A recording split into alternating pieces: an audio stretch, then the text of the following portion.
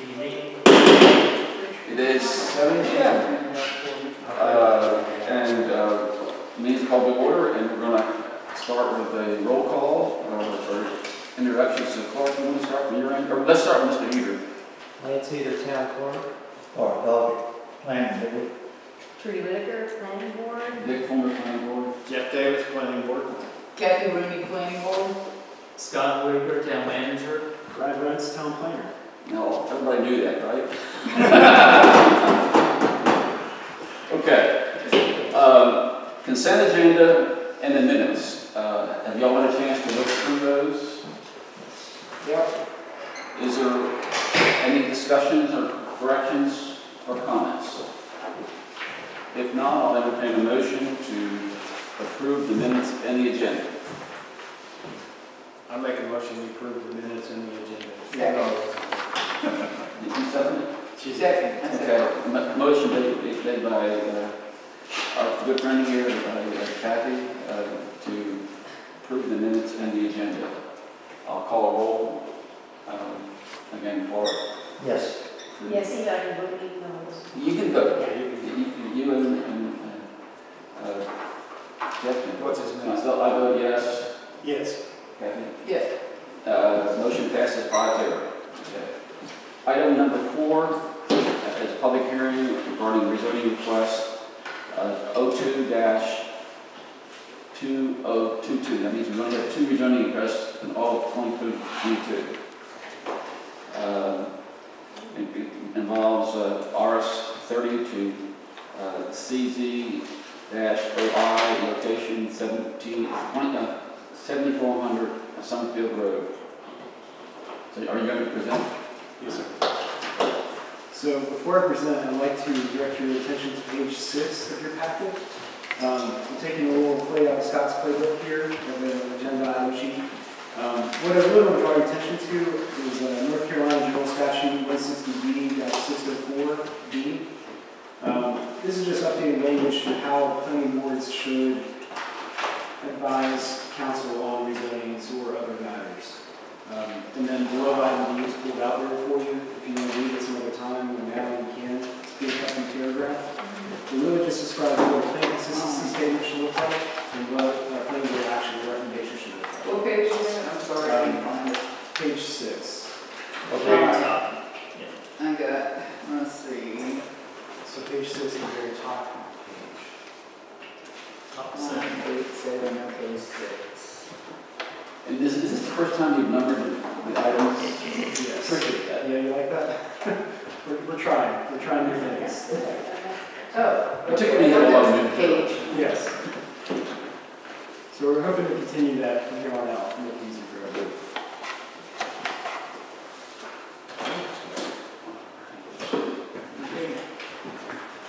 So as mentioned, this is RZ 02-2022, our second rezoning case of the year, single-family residential, RS 30 to conditional zoning, office and institutional. Uh, Location, as Scott has it on the this is the fire station located off Summerfield Road at the intersection of Summerfield Road and Pleasant Ridge Road.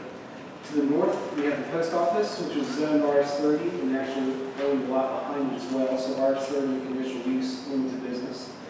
To the south, uh, professional services, auto services, uh, conditional zoning business. To the east, single-family residential. And to the west, this is somewhat oriented oddly, so to the west and south is town property.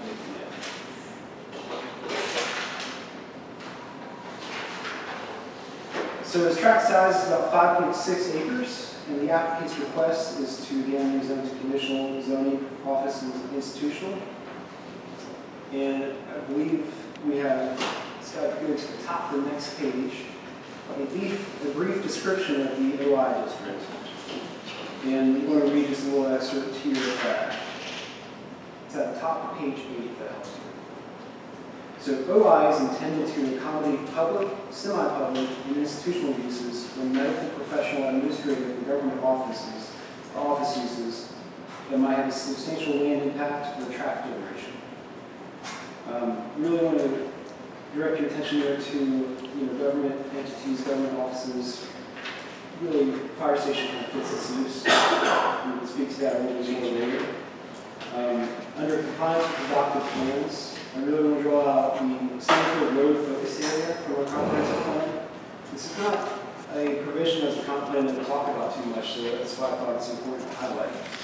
Um, You'll see in in bold that a fire station, elementary school, community park, daycare center, these are all uses that are desired in this focus area. Um, So it's very desirable, according to the comprehensive plan, to keep the fire station here and keep it very centrally located along Summerfield Road. So I would assume that would be all fire-related uses. So it'd be undesirable to have this use maybe go somewhere else. It's very desirable to have it all centralized at its one location. Did you know that the Summerfield Road focus area study was accepted by town council and never adopted? I knew that. Oh, Is okay. it- Well, He might not. So Scott, if you want to go to the use table or the, um, let's go to the Yeah, that's exactly it. So currently, as I mentioned, the property is zoned RS thirty. Residentially zoned lots in our town have a maximum built upon area, or BUA, of thirty percent of the lot. Really what that means is that thirty percent of the lot as a maximum can be covered in impervious surface, which would be buildings, covered porches, um, concrete, asphalt, impervious surfaces like that. Um, The L, uh, O and I district, on the next page Scott. On the left there, under maximum yielding height, you can see that the maximum built upon area is actually blank. So it- follows different standards in the residential lot would. Not saying that, you know, hundred percent of this lot could be covered in impervious surface, but it just gives a lot more leeway, and this use fits a bit more than RS thirty would. So I just want to call your attention to that part in what you see here. And Mr. Chair, that concludes my staff.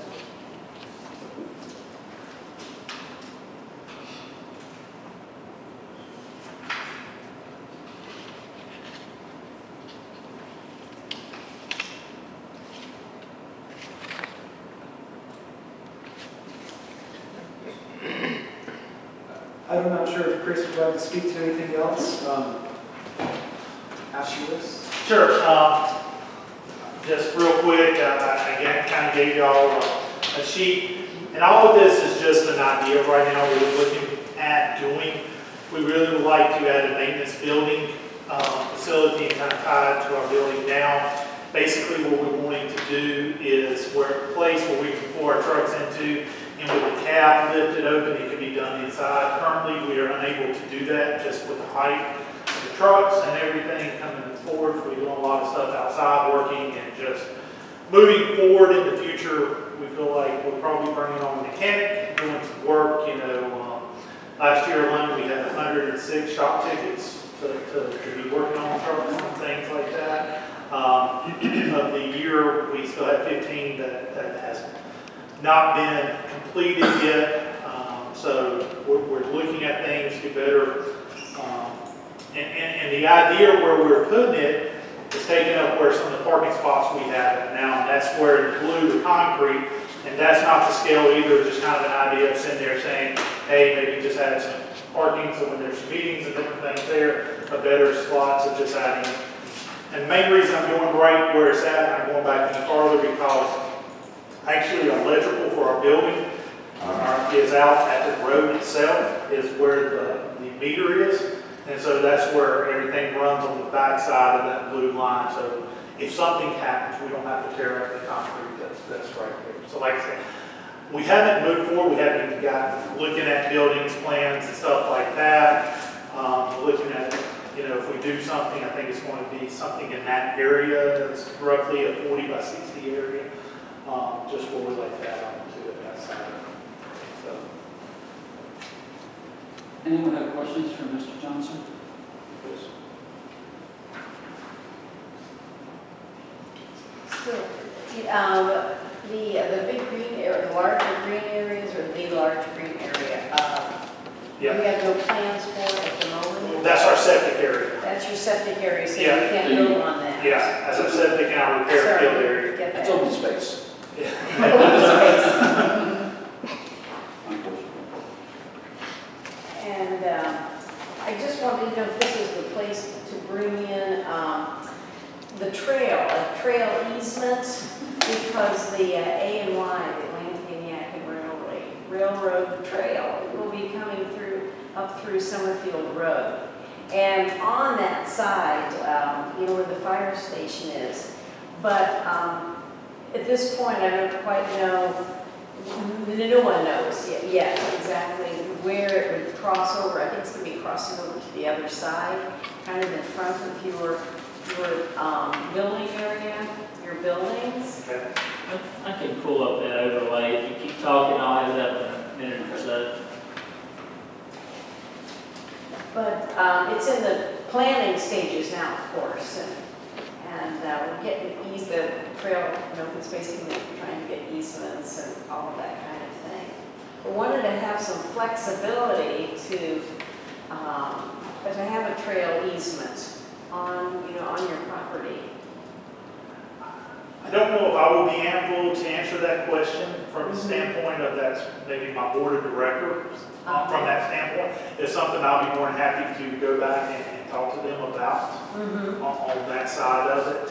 Um, I personally do not have an issue with it. Um, I think I will probably have some board members that may would have issue because they're afraid we're going to run over some people, but I, I feel like we're not going to be, um, having an issue from that standpoint of it whatsoever. So, um, I'll just put it there on the screen. I wouldn't, I hadn't thought to put this up there, but the way this was designed was it comes up, you're following my mouse there, goes around this pole, so it goes in close, real close to your pavement there, Chief. Have you ever seen this part? no, I have not seen. Is it What do you think of that? It goes- It goes through your office. Yeah, And it there's is. a park bench in your office. Yeah. Yeah, it- it We goes got right bids already out from the station. That's off of what's that sign we were passing out? It, it skips, it goes inward of your sign, seriously the rest of the time, and then goes across, and then fans back out to the road edge like that. Um, and then, of course, it crosses up here at, um, near the school. But, um, yeah, there's your, there's your design layout. Now, not that that couldn't be changed, but that's what our engineers have come up with over the years.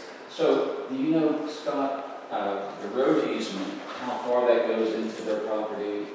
Do you know exactly where it might be? It- It wouldn't go that far, right? I wouldn't think. It shouldn't be that far.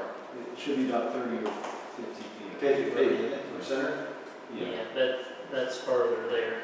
So i- if, if there became an issue, uh, in having it where it's currently, you know, we, we crystallize notice what you're currently thinking about, uh, if that became an issue, uh, the, the town always has the option of citing it in the, the, uh, right of way, right, the easement right of way? It, it could, I, I think the reason they designed it this way was just with the utilities, that you got the monument sign for the fire station there, um, and you've got that, that utility pole, and I, I think they were, um, you know, just trying to bring it in to avoid those areas and and minimize that impact. How many people are walking up, up and down in front of the fire station on Founder's Day? Lots of them? Well, that's that day, yes, on those days. Uh, Not speaking of this fire station, but on Lake Brandt, there's a station on Lake Brandt. When my knees gave out, we ran by all the time and through their lot like that. They also allowed us to come in and get water from the first to get that, which I thought was kind of nice. Thanks, Chris. But, but I don't have a problem with that. We, we have a lot of times bike, bike riders stop in there, use our facilities, and get a drink of water. And we appreciate it. Yeah. Like, I I, I don't personally don't have a, problem because we, me and my assistant chief, till my back has up, we would run up Summerfield Road and, um, do a lot of different things, um, on that standpoint. So we, we know the dangers of Summerfield Road without it being shut down for like Founder's Day and everything. It's, it's pretty tight through there. Um, But it's a symbiotic, symbiotic relationship between the town, fire department, and the public. Yeah. Let's keep it that, let's keep it that way. Mhm. Okay. Does anybody else have any questions for Chris or or Brad? Um, If not, I'll entertain a motion uh, to uh, make a decision on this topic. Yeah, we gotta do the Sorry. public hearing part. Oh, sorry. Yeah. I'm faster than I thought. Thank you. Okay, I'm gonna, I'm gonna open the public hearings uh, at seven fifteen. Is there anyone who would like to speak uh, at the public hearing? Ms. Dunn, you're first. Maybe the only one, but you're first. Okay, um, we're gonna get some comments about the process, and this is a great idea, and I have some supportive things to say. Part of rezoning, according to the UDO, is the informational meetings, communicate applicants, owners, we keep together, uh, purposes to educate the neighbors about the development. This is all feel good, feel good stuff.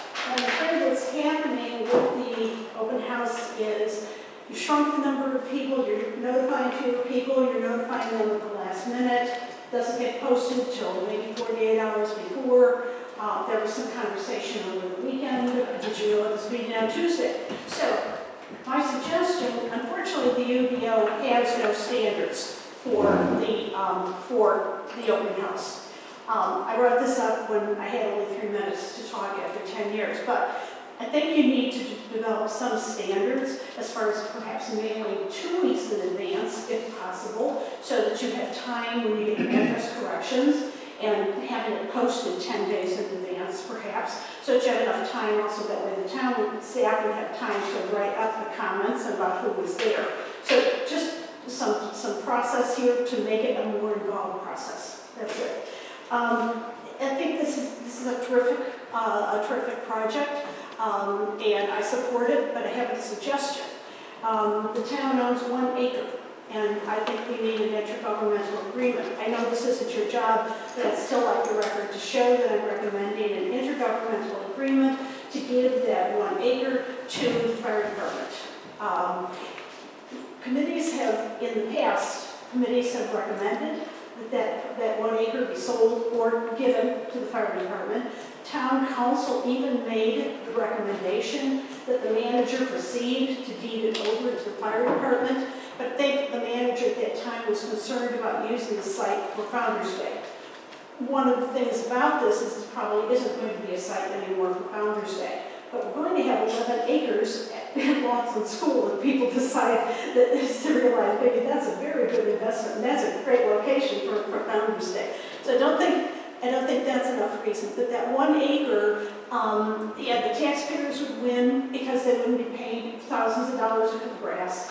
Fire station, the fire, fire department would have that extra land to work with, um, if they use it for open space, or just, going to be an advantage, I think, for whatever they want to do, and I think that, I think it's a win-win. So I'm recommending that, um, that the town deed that acre, it's long overdue. And, um, appreciate the work that the fire department's doing. Obviously, everything they're doing has to do with safety and providing the services that they provide, and everyone supports that. Thank you. I so noted that you uh, completed one second ahead of time.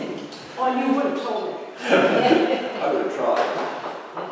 So, um, I'm not sure if you're aware, Ms. Dunn, but at our last meeting where we discussed text amendments, one thing that this board insisted upon was that um, we, we, we believe very strongly in, in public notification, public participation, and we asked uh, that the text amendments that were being considered include a provision that would require the town to post on the website.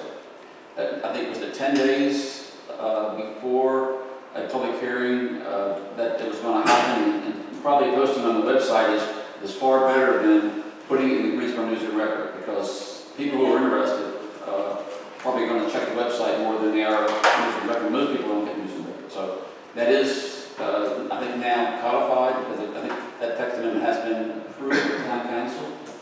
So. Uh, but this is talking about the informational meeting. There's nothing in here. You can just do it, you know, 24 hours in advance.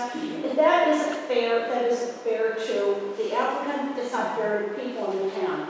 Um, it, the old language in here talks about how you're trying to bring people together. So put some standards in place and then make it easier, I think, for the manager, especially like the two weeks, if you get adverse corrections because they're working from an incorrect list. I don't know how many they get back in the mail, but, and mail something now and say, well, we know it'll be there in two days, um, they've done this so today, so stuff. So noted, Ms. Dunn, thank you. Uh, Is there anyone else who wants to speak publicly? Want to speak? With that, the public hearing is closed at seven twenty. And I'll open the, uh, the meeting for comments from the board or action board. I'll make a comment and an action. Okay? So first comment is thank you. We appreciate what you and your fire department do. On behalf of Summerfield, we appreciate it. Thank you again. With that being said, I make a motion to approve. I'll use your verbiage, but you were nice enough to write it down. I move the case RZ 0222 be recommended to the county council for approval. The conditions proposed by the applicant, the request is consistent with the town's adopted comprehensive plan. And for me, I just look at it as limited commercial development, Summerfield focus area, local government, I mean, you could almost add transportation improvement to some extent, but anyway, those, pick whatever you want, those are the four that I pick. And it's reasonable in the public interest because obviously we need a good fire department, we need to be able to work on this equipment, I think that's justified. So in the public interest maintains and promotes public health, safety, and general welfare, as I stated before, because we have a great fire department, that's got to do a great job, and they deserve to have a great place to fix their equipment.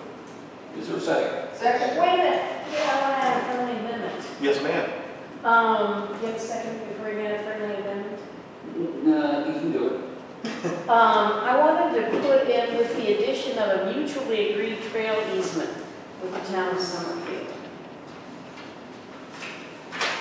I'm not sure if we can do that because it's not a conditional zone.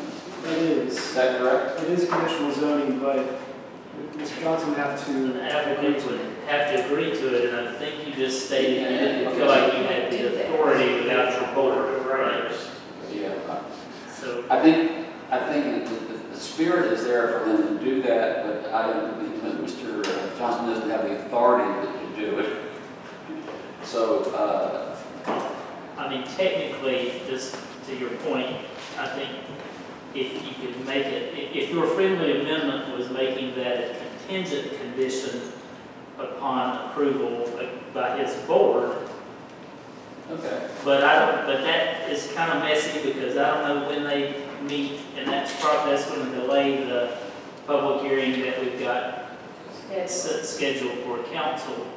Um, Well, can we- Ultimately, council, if you had that condition, that contingency, council could not make a decision until your board, which typically meets the same night. Same night. And Can we, it's, it's just complicated, I'm not discouraging, I'm just saying it's not could we, easy. could we maybe change it to, to recommend that they consider it, uh, uh, uh, that part of the zoning? Uh, Not, not putting a requirement on it, and that would not slow anything down?